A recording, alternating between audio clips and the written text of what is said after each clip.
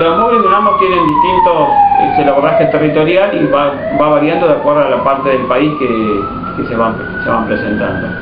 En este momento nosotros lo que, lo que tenemos en el UNAMOS es prestaciones de pediatría, clínica médica, ginecología, este, y con el camión que tiene diagnóstico por imágenes tenemos la posibilidad de hacer este, radiología, ecografía y también en algún caso mamografía.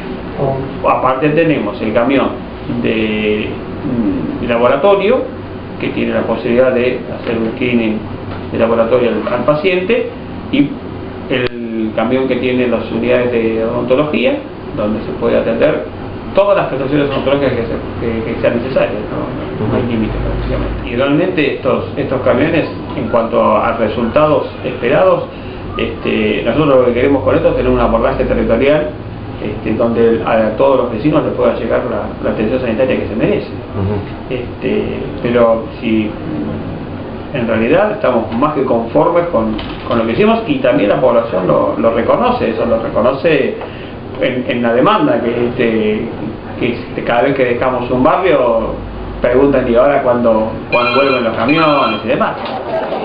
A todas las personas que evaluamos les recordamos después donde tiene que seguir la atención. No es que pasa la atención del camión y después hasta que vuelve el camión sanitario no, no tiene atención. No, esto no sirve para también reordenar toda la demanda. Decir, bueno, mire, ahora usted lo va a ver este, pediatra en el plan de niños o, lo va a ver el, ginecólogo en tal o cual unidad de salud o en, cada, o en el centro de salud o tiene que ir a retirar el informe de laboratorio a la, a la región sanitaria o, al lugar que nosotros le, designamos.